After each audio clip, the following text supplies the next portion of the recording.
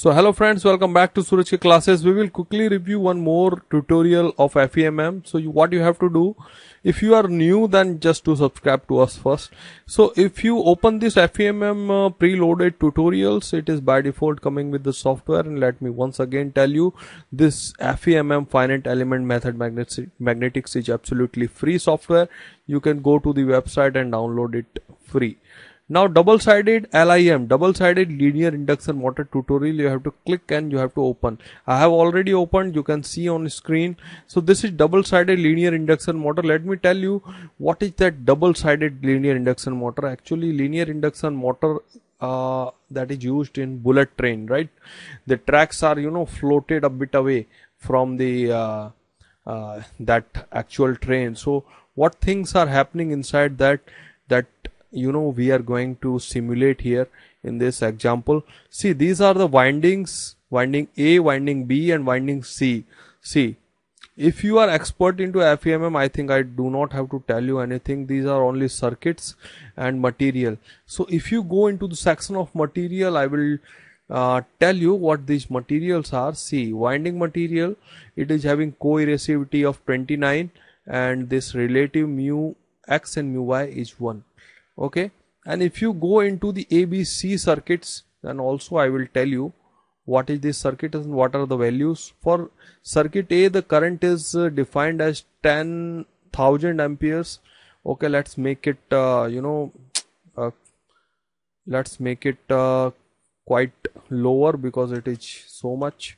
Let's make it 4000 amperes only. And for the B circuit if you see for the B circuit the current value is minus 1000 plus I into this one okay? For the C also the C value is same.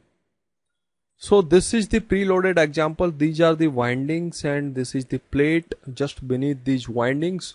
This is M19 steel structure. Let's uh, quickly simulate. You just have to click on this yellow button. Now the number of nodes are created 7559 now I am going to crank it up to see what are the results what is uh, what are the technical values. We will also review the flux density uh, graph in this. Now I am going to quickly see how these magnetic lines are appearing. Very beautiful. So much beautiful. See the magnetic lines because these are the this is see this is my A winding, this is my B winding and this one is my C winding. Obvious, it is very obvious that the winding A has much value of current that is why the magnetic lines are much stronger. If you see the flux density with by clicking on this, uh, this you know rainbow type of button. Now click on the show density plot. Now see, this is the flux density of the linear double-sided induction motor. So this is double-sided linear induction motor. The flux density curve that let me tell you see it has it is having the red value. That means the flux density is, is in tesla and it is having the value someone uh, something around 1.728 right and for the other circuits for other windings B and C the flux values are not that much. It is very obvious that nearby the points the nearby these nodes the flux values are appearing so much. Let's now see what is the exact value in this.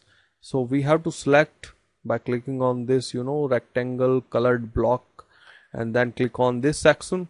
Now I'm going to click on this integrate button I want to see what is the total loss first okay? The losses are this one. This is the 10 raised to minus 17 okay? This is the value of loss.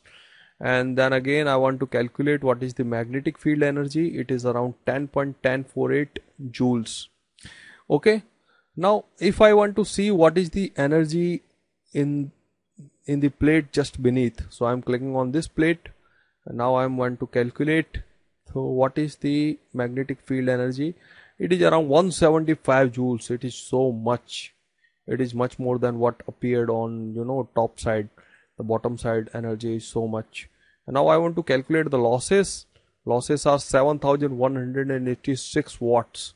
So see how much energy it is creating because uh, you know it is a big circuit and it is having a you know number of uh, value of the current is also much more so it is a quick review of the example. What i found i wanted to show you that how this looks. And if you have any query any questions regarding this femm if you want us to simulate some more things about this you can drop a comment in our comment box. Thank you so much for watching this video. Let's meet you again. Thank you so much